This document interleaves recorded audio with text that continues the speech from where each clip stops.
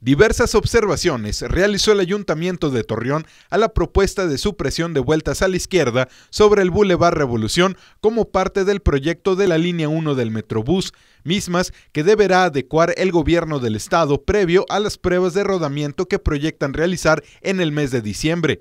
Entre los puntos que solicitó el municipio fue la simulación virtual del tráfico vehicular en aquellas vialidades que tendrán que cambiar de sentido y que representan rúas de conexión entre vías principales como la calle Profesor Ignacio Barrón, informó el director de Ordenamiento Territorial y Urbanismo de Torreón, Aldo Villarreal. En el Paseo de la Rosita, cuando llega al, al Boulevard Torreón Matamoros, eh, de ahí del Boulevard Revolución a la Juárez, actualmente hay un doble sentido. Sí. Ellos proponen que no sea, que so, sea solo de un sentido y que sea de norte a sur.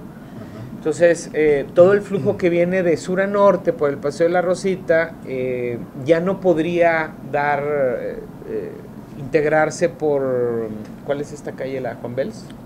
¿Es la Barrón? La, sí. Ya tampoco podría hacer esa maniobra, lo que obliga a, a girar a la izquierda y eh, a la siguiente calle es a cambiarle sentido de sur a norte que conectaría al, a la Juárez, ¿no? En las próximas semanas, el gobierno de Coahuila deberá argumentar la eliminación de 17 vueltas a la izquierda en el mencionado bulevar del tramo del Paseo de la Rosita a la calle Ramos Arispe. Para el arquitecto René Mata García, director de Administración Urbana de Torreón, es importante conocer toda la información del proyecto, principalmente al eliminar vueltas a la izquierda para proyectar las necesidades de infraestructura que requerirán las avenidas Presidente Carranza y Juárez al añadirles mayor carga vehicular. Derek Vaquera, Mega Noticias.